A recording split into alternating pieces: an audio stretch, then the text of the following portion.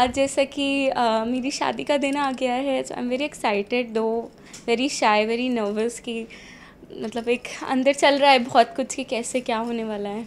दिमाग में ऐसा चल रहा है कि मतलब मैं ध्रुव सर के सामने कैसे जाऊँगी? मतलब वो मुझे पहली बार ऐसे देखेंगे और क्या सोचेंगे? मैं हंसना पड़ूँ उनके सामने सबके आगे, बहुत कुछ चल रहा है।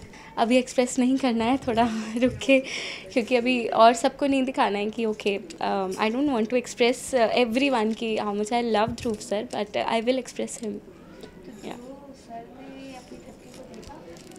अभी तक तो नहीं देखा उन्होंने मुझे। आ, देखेंगे। लेट्स सी क्या हाल होता है देखकर।